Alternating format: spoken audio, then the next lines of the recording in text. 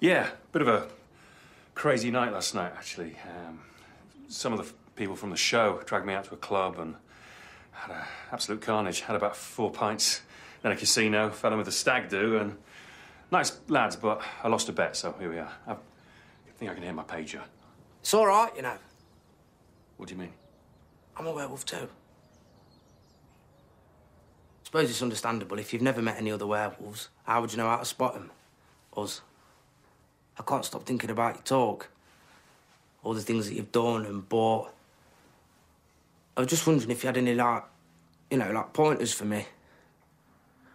I'm a werewolf too, but I've never lived anywhere posh like you. I live in a house now, but I ain't got it all to myself. I have to share it with a couple of friends. I used to live in a van in the woods with my dad. Move about, keep a low profile, and or just live off the land, really. What did you say? I used to live in a van in the woods with my dad. Before that? Um, I'm a werewolf, but I've never lived anywhere posh like you. After that, you said something about living in a house with people. Yeah. Do they know what you are? Yeah, totally. And they don't mind? No, well, they got their own things going on. So, you want to know about the secret of my success? Yeah. Half of me thinks it's impossible. Half of me thinks it would be selfish not to pass on my wisdom. And yet, the other half just wants to throw caution to the wind.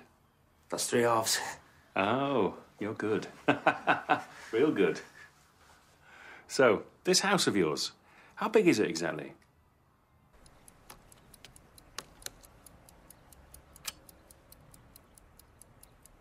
We need to talk about Mary. I did say you'd find her a little dull. Dull's not the word that I would use.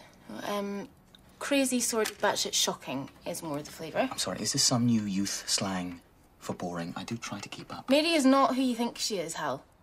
The whole posh totty thing, it's just an act. Why on earth would she do that? I don't know and I don't care, but what I'm worried about is the fact that she's been stuck here for 200 years and it's turned her into a total frothing loon. Is that what's going to happen to me? Look, even if you don't pass over for a while, I'm sure you'd cope with it admirably. You and Mary are completely different people, after all. Had a thing with you, got killed, stuck here as a ghost, but mates now. Does that ring any bells? You're right, Tom. I'm fine, you. Is that somebody at the door?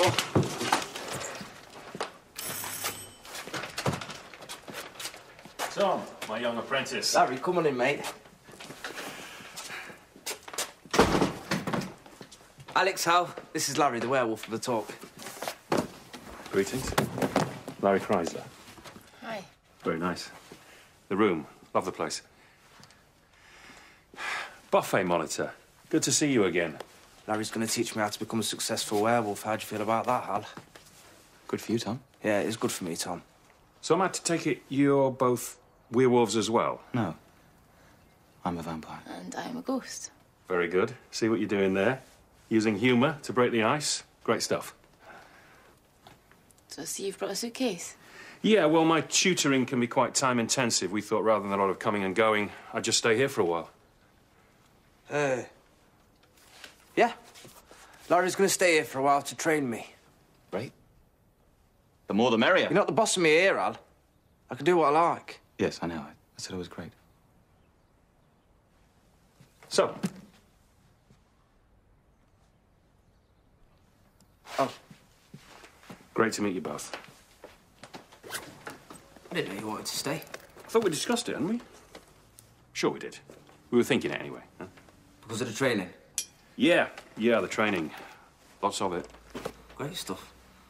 Well, when do we start? Like, is there a manual or something? Yes, of course there is. A vital component of the program. Now, uh, this is the most important book you'll ever own. Uh, truly got me where I am today. This book is now your Bible. I want you to live it, breathe it, sleep with it, under your pillow. I'm just saying it's a good book. Oh, wow. Thanks, Larry. You say your dad taught you a few things. Yeah. Um, only steal from big shops. There's good eating on rabbit and underpants inside out buys you an extra week. Essential life lessons. Anything about becoming a success, making something of yourself? Nah, not really. It was more about whittling him, not starving to death. You were amazing, though, my dad. We were hardly ever out of each other's sight. He protected me from the world. A bit too much, maybe. I don't know, I just want to make him proud. And I get dead frustrated when I can't, and I get things wrong and that. Tom, open that door.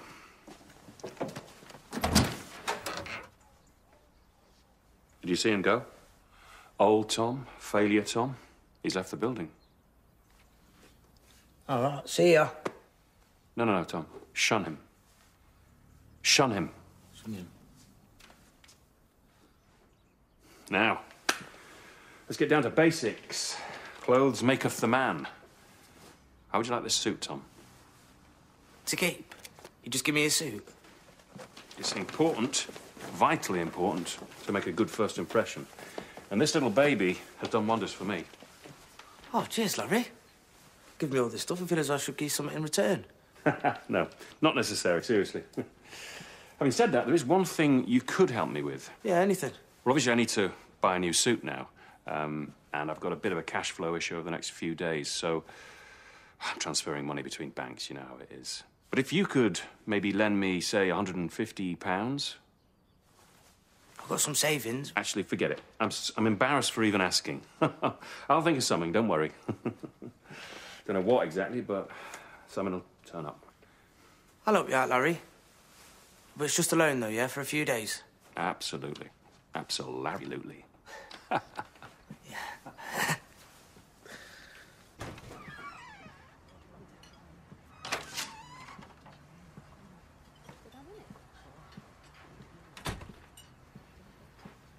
Tom? Hello, Hal. I've just come to congratulate you on your new position of manager.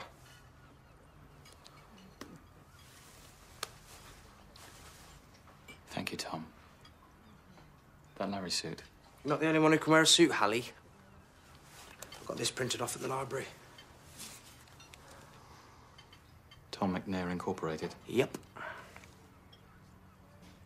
think you're supposed to put something else on there, like a phone number or an email. I'll call you. Yeah, there's a new player in town. And he's got the skills, and the looks, and the motivation, and the skills. He's got the whole package. Quite. Everything okay with your breakfast now, man? Everything okay? How's things? All right, right, yeah. And, and, and. Yeah, they were really impressed. I did the power handshake, I gave him my card, um, interrupted him. I mean, that's three of the ingredients for success pie right there, isn't it? Success pie? Yeah, the book, chapter four, success pie. Oh, the book, of course. Now, your next life lesson. Take this, go and put the windscreen through in that BMW over there. Whose car is it? Let's say it's your competitor who has stolen your assets and voted you off the board. Yeah, but whose car is it really? Mine. Stolen by my bitch of an ex wife, who is currently spending my money tanning herself in that spa so she can look even more like the leather handbag, which I bought. Ha! The irony makes me want to puke. Your ex-wife. This thing in 92 and 94. One in the same. Although 1992 was a long time ago, as one look at her will plainly tell you.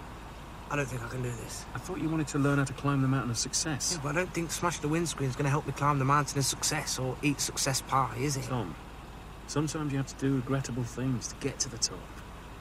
And when you do, your old dad will be looking down and smiling. If I do this, he won't. Maybe you're right. Maybe I'm pushing you too quickly. Just go and let her tyres down and we'll say no more about it. Go on.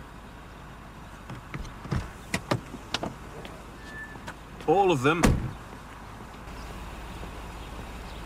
It's simple, really. I go off and have adventures and just make sure I'm back here in time for all the pretty Lord Harry bullshit.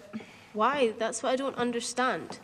And what about your unfinished business? Well, that's all sorted. Something about library books? No, I've had loads of doors appear. I just turn them down. What? Why? How? He needs me. I know he's got you, and there's been Pearl and Annie, and those are just the ones I can remember, but me and Hal have something special. Something no one else could ever understand. Which is? I keep him clean. Seeing me once a year stops him from killing and has kept him from killing for more than two centuries. What do you mean? Well, I was his last victim. Is that what he told you? Yes.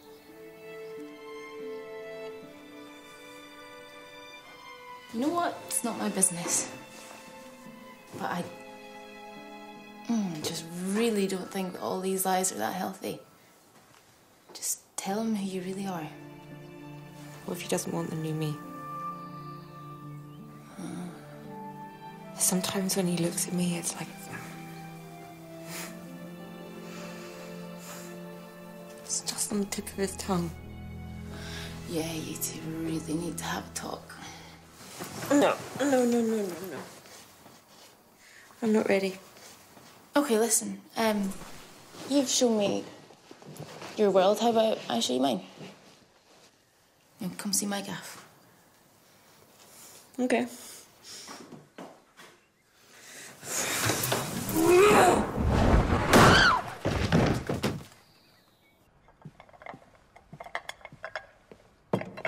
Cheers. Larry, might have a quick word. Shoot. I was just wondering how Tom's lessons were progressing. Yeah, very. We're at a delicate stage. We're breaking down barriers. To replace them with? Bridges, castles, affordable housing. Actually, there's something I've been meaning to ask you. Did you ever meet Tom's father? No. I never had that pleasure. But I'm right in thinking they kept him away from people and that Tom was homeschooled? That was my understanding, although I don't think McNair's lessons were exactly conventional. You must take some of the credit, of course, for helping Tom adjust to society. Tom's been very resourceful in that area. Sorry, are you saying you haven't taught him anything? I mean, you're obviously a man of breeding and intelligence, whereas Tom was almost literally raised by wolves. That's something of a sweeping statement. And yet you felt no compulsion to pass on any of your. Yeah, fine. Not really my place. Unbelievable. I suppose the greatest test of a teacher's work is whether the student thrives without them. It'll be interesting to see Tom implement all the things you've taught him. Once you've gone. Once all of this is over. It's a big house, but not that big. How odd you must find our little setup here. How domesticated. Perhaps we are a little rigid, but that structure seems to work for us. And we'll do all we can to protect it. I'll bear that in mind. My situation is not unique. I appreciate that. People lose their jobs every day. When that happens, no doubt, other aspects of their life expand to fill the void. The problem with my life is there's nothing else there to expand. I don't have a family. I don't have any hobbies. The job was my life. But now that's gone. So I find myself at something of a loose end. What was it that you did? Your job? Oh, civil service. Very dull. Well, that was what I always said. But it's something of a lie. My job was covert and dangerous. and required me to commit acts that will haunt me until the day I die. All in the name of holding back the tide. And if we simply step aside now and allow that tide to wash over the world, then all my sacrifice has been for nothing. All those deaths have been for nothing. Do you understand? Would you like me to tell you what I'm wearing?